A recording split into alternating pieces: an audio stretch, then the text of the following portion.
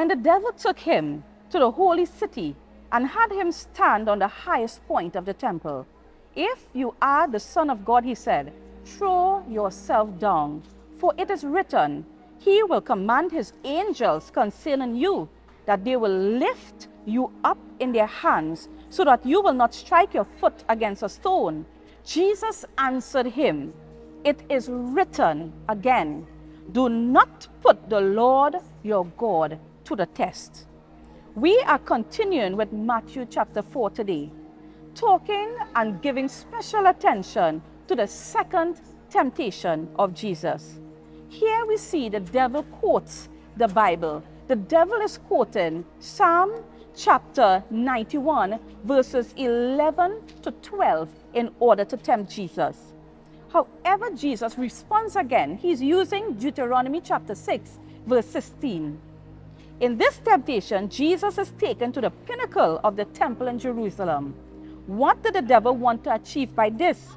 He wanted Jesus to test God by jumping. He also wanted to dismantle the purpose that Jesus came on this earth to fulfill.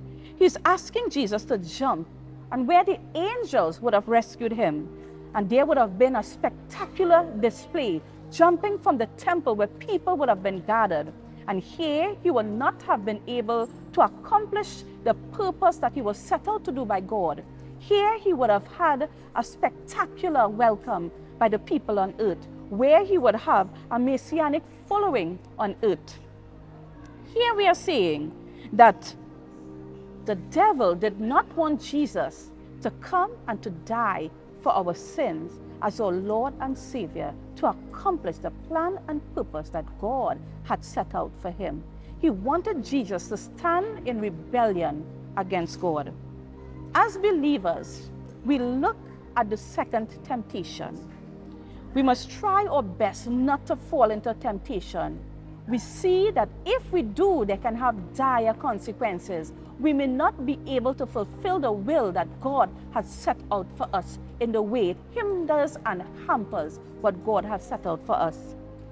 So today, we also learn that the devil can twist the word of God. He is misquoting and misusing the scriptures.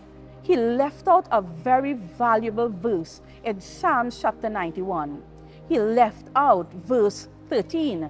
And verse 13 states, You will tread on the lion and the cobra.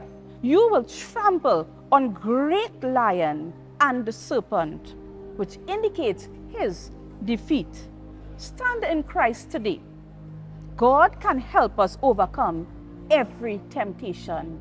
When the devil comes to tempt you, I want you to remember what it says in Psalm chapter 91, verse 13. We will trample on the lion, we will trample on the great serpent. For the God that we serve gives us the power and the authority. So let us stand.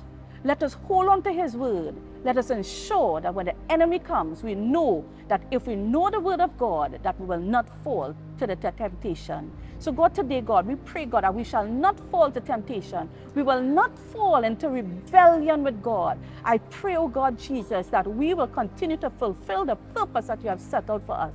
In Jesus' name we pray. Amen and amen.